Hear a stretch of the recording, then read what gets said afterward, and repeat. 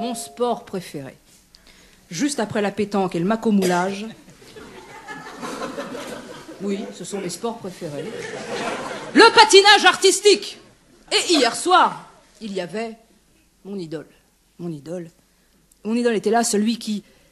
Comment dire qui, patine mieux que Candeloro, qui parle mieux anglais que Cousteau, et qui s'y connaît mieux en musique qu'Ève et qui.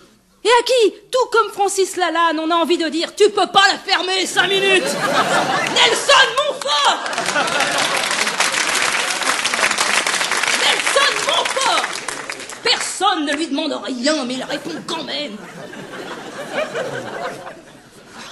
Eh bien, voici Nelson Montfort. Quand vous l'auriez pas reconnu, Nelson Montfort.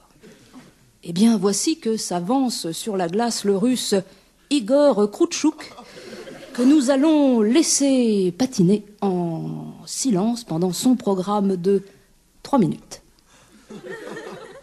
Je vous rappelle que nous allons laisser patiner Igor Kroutchouk, qui a merdé totalement son programme libre hier à cause d'une colique dont il a été victime après avoir mangé un nuts avarié. Ah, mais la musique commence,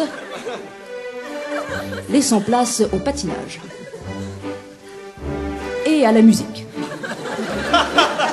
Musique que Igor Kroutchouk a choisi lui-même parmi les trois disques que comporte la discothèque nationale de Moscou. Mais place au patinage. Et vous l'avez reconnu, Kroutchouk patine sur euh, Rikita, jolie fleur de Java, interprétée ici par euh, Los Machucambos. Une euh, musique, il faut bien le dire et vous l'aurez reconnu, qui souligne le patinage délié, plein de finesse, de douceur, euh, de romantisme, de ce russe.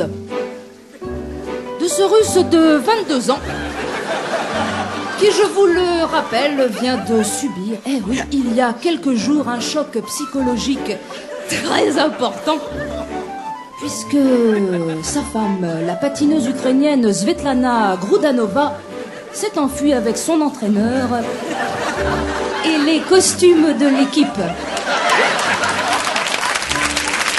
Mais c'est pour cela que demain, dans le programme Couple, Igor patinera seul et en slip.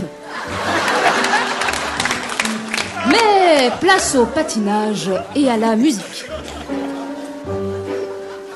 Un patinage dans lequel Igor n'est pas novice, il faut bien le dire, puisque son père était, je vous le rappelle, fromager à Moscou.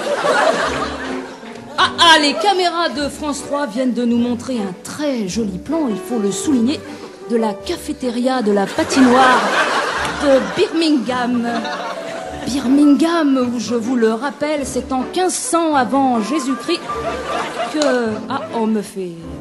Mais place au patinage avec une... avec une superbe chute Oh, du russe qui vient de rater totalement ce double grand écart volant avec un tuple flip et vrille piqué. Oh là là là là là là là là là là là là. C'est pourtant l'enfance de l'art, le béaba du patinage.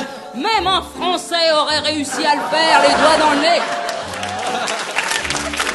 Le russe, le russe est vraiment un naze et il a mérité cette chute hilarante qui le dégage définitivement du classement et qui donne enfin, il faut bien le dire, euh, sans être chauvin, une chance euh, à nos petits Français. Mais place au, patinage.